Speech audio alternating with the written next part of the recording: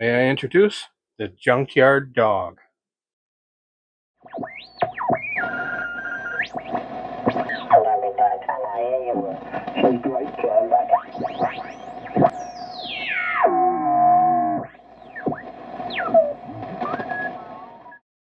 Good day, and welcome back to Mike's Radio Repair and Restoration. Today we're going to begin part one of possibly restoring a Hallicrafters SX43, and I'm calling it the Junkyard Dog, that's for sure. Um, it's in rough shape, folks, um, but we'll go through the motions. Uh, we'll see if it's savable. Uh, I'm not sure. I've got my reservations that uh, when I open the hood and I stick my nose in there, all I can smell is burnt stuff. And looking through the uh, alignment holes in the bottom, it looks pretty bad. Um, so I'm not sure if we're going to be able to make it through with this one. Again, you know, we're going to carefully go through our what I call my step one. And if you wonder what that is, I have a video out there, uh, step by step how to restore a tube radios. So you might want to take a peek at that because we're going to follow those easy to follow steps, and uh, we're going to apply it to this radio, assuming we can restore it.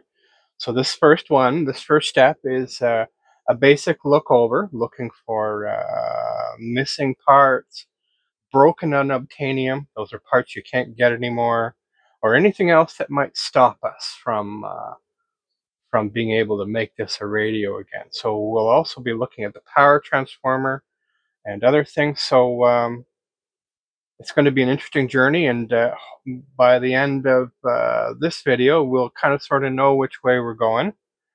Um, and if you're following along our program, the steps to uh, restore radio, make sure you're taking safety precautions. There are high voltages in these radios that can be lethal.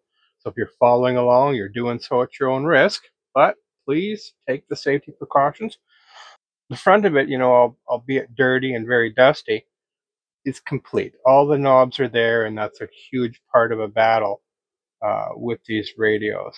Um, next, I'll uh, I'll flip it over and I'll see if I can get a photo and put up a photo of uh, what I'm seeing through the uh, through the alignment ports, and uh, uh, we'll take a we'll also take a look under the hood too, and it, it you'll see what I mean, and you'll wonder if it's possible to save it. So let's start taking a look and uh, and seeing what we see. Okay, here we are taking a peek under the hood, and right off the bat, rust, rust. The transformer's rusty. Even the tops of the tubes are rusty. Uh, but from the inspection perspective, what do I see? Somebody has replaced the output transformer already. This is not an original transformer. The wires to the to the uh, panel lights are severely dried, broken. Um, of course, the rust. I see two tubes here. That looks like probably a 6AL5. I'm not sure what this one is over here yet. Um, they're missing their shields, so that's not a big deal. Um, I can replace those. It's not a huge problem, but it's rusty, that's for sure. Um, just one second here. If you look at the back here,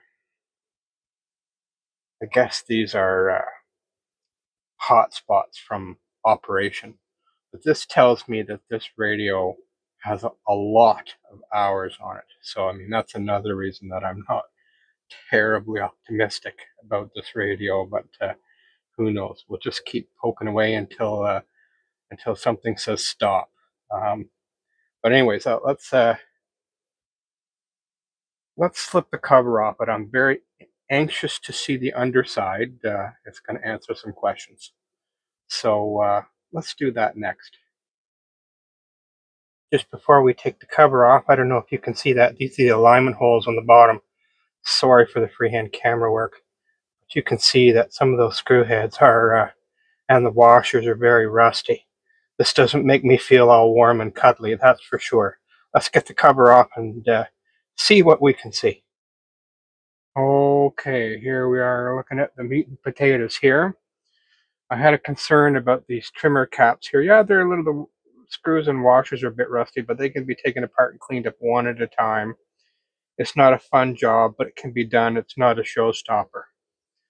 Um, and of course, you can see here, this is where they replaced the uh, audio output transformer, and they did a, just such a special job at taping up these connectors rather than putting in a terminal block. Wowee. Um, I've noticed some things here that are concerning. Um, there is a selectivity switch on the front that selects the bandwidth of the IF. One of its contacts are burnt clean off it, which is not a good thing. This domino capacitor is cut. This capacitor is cut. These two little disc capacitors are cut.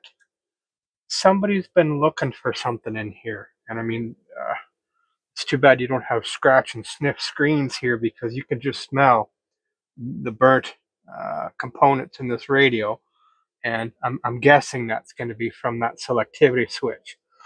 So if my memory serves me correctly, that selectivity switch connects to the second IF transformer, um, which draws some concern. So I'm just going to pause this video here. I'm going to sit down with the schematic and get my ohms meter out because the only thing that could cause that uh, contact on that switch to burn something in in the IF transformer or around the IF transformer. So like I said, I'm going to get my ohms meter out, get the schematic out, and do some fishing around, and I'll be right back in a sec.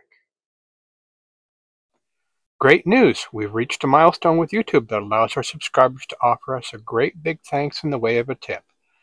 The funds collected from your generous tips will be used to buy more old radios and parts to generate more great content.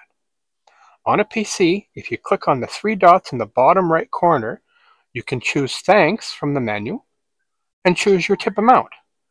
If you're on a mobile device, again, you can seek Thanks in the lower right-hand corner. Your consideration and support of our channel is certainly greatly appreciated. I thank all of you that have turned this so quickly into a great community. Well, okay, we're back. Um, the news isn't great. Uh, the second IF transformer, um, it's a double, it's a biggie. Um, one of its windings is a dead short, and the other one is open on that same tower. That's a bad thing. Um, in my experience, that'll be uh, uh, a cooked transformer for sure. Um, I, I, doubt, highly doubt it'll just be a wire off. Certainly not, you know, the other one that's a dead short.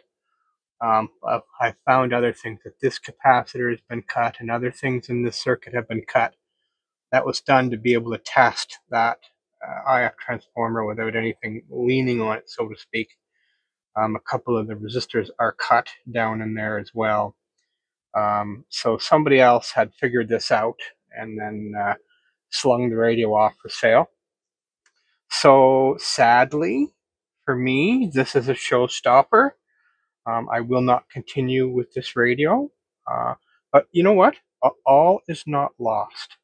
I've been in this position once, I've been in it twice, I've been in it many, many times. Um, this radio I will close up, it will go into dry storage, and one day I'll find another. And that other will need a part that maybe this one can be a donor or the other one can be a donor for this one and I can put one together out of two. I've done this many times, so uh, I'm not crying a tear. Um, I didn't pay a lot of money for this radio. Uh, I don't think I've got $30 in it, so um, I'm I, like I said, uh, it's not time to, to cry about it.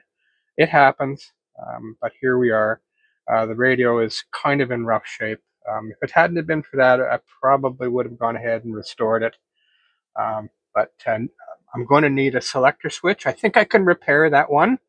Um, I've got enough uh, similar switches around. I can take a contact off one and use a little watch grade nut and bolt to put a contactor on the selectivity switch is what I'm talking about. So that's not really a showstopper. The wiper in the center is okay. It's the one contact that's burnt but the uh, the IF transformer is a bit of a, a showstopper. I'll have to dig around on eBay, see what I can find. Maybe maybe there's one there that I can uh, uh, dig up or whatnot. Um, but we'll see. Um but uh, maybe one day. Maybe one day. So sadly, we're going to wrap this series up for now and move on with something else, I guess. So sorry to disappoint, but thank you very kindly for tuning in. Um, you uh, you were most welcome joining this uh, uh, joining us for this post-mortem. Let's call this one a post-mortem. so if you're enjoying the series of video, please uh, subscribe, like, uh, and all those neat things. I'd really appreciate it. So thanks for tuning in, and we'll see you again in the next one.